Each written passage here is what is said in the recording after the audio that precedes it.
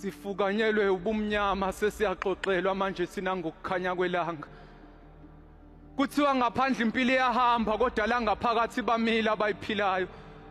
Zithi izihlobo zikamufi kwenile ethuneni likamufi mfowethu. Kuthiwa bayabuza mfowethu ukuthi besingayithokozela nibheli ke sambe siyobasusela ukhula liyamcindezela undodana ethuneni. Kuthiwa bayasonga mfowethu bathi masiphothula lesigwebo sethu kuyoba ngcono nolazari mayizovuka ethuneni. Kuthiwa bakhala kakhulu mabezwa kuthiwa siyahleka la ngaphakathi.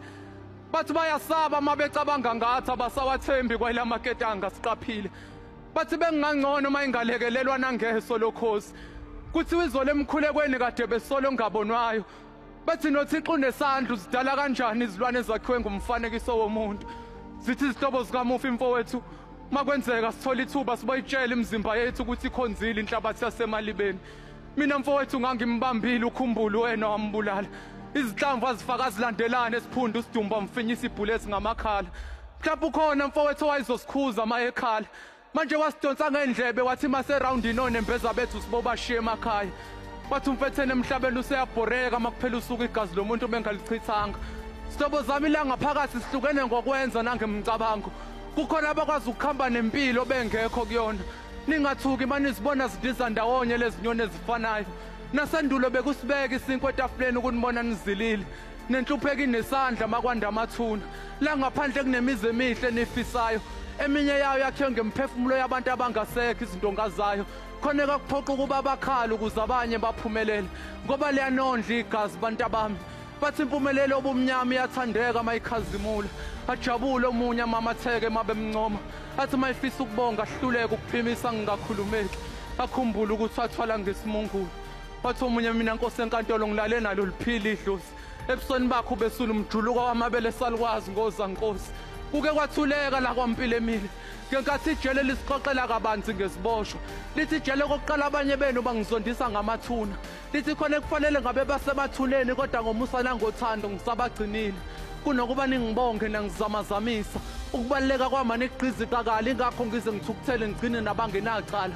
Lithi la ngaphakathi kuke kwaphakama omunye phakama ngomunye wafela kumina. Zangizonda izihlobo zikamufi. Zathi ukuba ngangenanga kumina ofile ngabe usaphila. Pho mina abunjwa ngenhlabathi nihluke ngani nginamathuna? Ngakhushintshile umbhali ithuna ethuneni. Wathi omunye umntwana abantwana ngelinye ilanga engangiboshwe naye mangimbuza ngephupho lakhe. Watheni iphupho lakhe? Ukubona uthixo isidumo somfanekiso wakhe silele emalibeni. Wathi la ijele waboshelwa icala lendoda yafinga khulumanga wathi ngiqunye kule ndawo nje bantwana isizwe ngisikweleta impilo wathi kuneminye emphefumulo kwangingafanele ihlukaniswe nenyama. Wathi ngabulala umuntu kwafanina ekhomba abanye abantwana. Kwase kusukuma ikhehle elidala elaliboshwe ngamaketango lakhwehlela igazi lagcwala phansi bathuka abantwana. Lathi ikhehla ningathuki bantwana. Igazi lomfowethu lele ngaliphuza mhla ngiqeda kumbulala sibanga ifa likababa wathi umfethu ubelungile kodwa ubengakulungele ukufa ngesandla sakhe.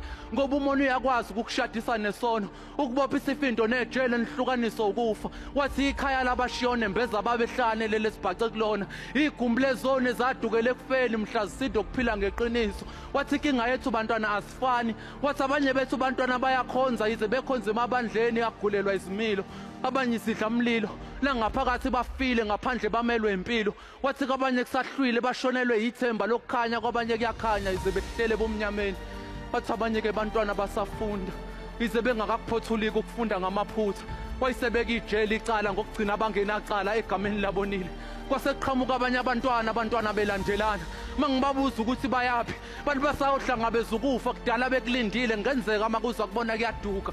Manje bafuna ukukukhombisa indlela elula eyangakubona. Ngathi uzusibeke nathi gogo enkonzweni uma ngingenzeka wathi ugogo nami mzukula ngikhona ngisayolanda bayakhona. Ngathi gogo waze wanesono. Uthi ugogo nalo ibhayibheli imzukulu ninesono uma likwazi ukucashisa ukugibela imfene. Wathi uyangilibazisa futhi mzukulu ungidedele ngihambe. Ngizoze ngifike abazalwane sebekhuluma izinto zakamoya bengasahleli enyameni. Kwazi kwayintokozo-ke ebantwana ukunibona nithokozile ngenyanga yothando. Phendula owesifazane thizeni athi bhuti kwangathi izosixolela le nyanga yothando. Ifike kabi nathi sisagubha usuku lokukhishwa kwezisu. Eshelula isandla edonsa iwayini lahleli phezu kwesitamukoko elithele engilazini enesithombe sengane ekhalayo. Athi bhuti futhi ningalokho enisitshela ngenyanga yothando. Thina sazi inyanga yemithi masifuna ukudlisa amadoda. Ngithe ngingakaqeda ukukhaya inkondlo. Izimbongi zangibizela eceleni zangihlalisa phansi zathi njomana usho kungani ungaphumeleli ngoba inkondlo ayiphilise egazini kuyo uma iphefumula? Ngathi angazi nami maciko umalume usuke ethini emsama ayishisa impepho noma usuke eshisa ikusasa lethu uma ifuna kukhanyelakhe ngathi pho kungani namaciko ningaphumeleli ngoba nanginina ngiyakuzwa ukuphila emagameni maninyakazisa iy'ndebe bathi make njomane sokuphendula sinike imzuzwane siqale sifihle umona lona esidlelana wona ngathi khona yini okunye engingakwazi ngaphandle kwalokho esengikuzwile? Kwasisuka omunye. Wathi inkinga yenu njomane nikhuluma kakhulu iqinisa emhlabeni wamanga. Mhlawumbe ngangcono uma ningashintsha ukukhuluma nincoma ukufa. Noma nithi babusisiwe abesifazane abakhulela abesabancane kuhle ukushesha uzala uqeda ungakaqedwa impilo. Wathi udadewethu yena emhlabeni esaphila izinkinga kakhumbula izimfundisa ngokulahla ithemba. Wayisethula ugade nalilanga mfowethu ngelinye ilanga lanikhanyisela ngokufa. Ithema iqeda kusho njalo inkondlo. kayisihlehli bafulathela